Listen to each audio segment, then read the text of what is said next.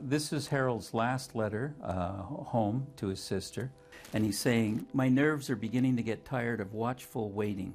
This letter was written by Harold Freeman, December 31st, 1916, as he waited in England to join the 46th Battalion and join the fighting.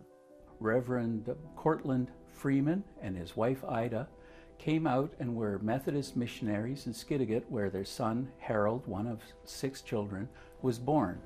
Harold signed up late in the war, wrote a few letters back to his, his sister saying how nervous he was, and then one month after the last letter to his sister, he was killed in the assault on Vimy Ridge. His mother, Ida, was so grief stricken that she refused the Mother's Cross and the documents that came from the federal government about the death of her son. She wouldn't answer the door. Eventually, those things did come to the family.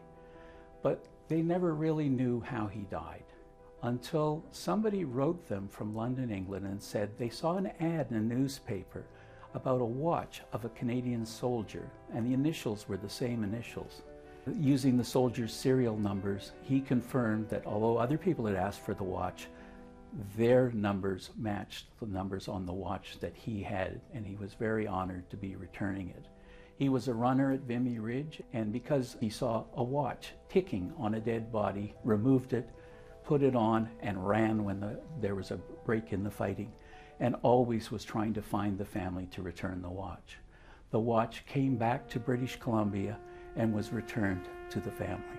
And here is the letter where they're put in touch with the person who took the watch off their son's body. I can just say that your son was lying quite natural. He did not seem to be shattered, and I think he had been killed by a bullet. And that in itself would be comforting. Comforting. Yeah.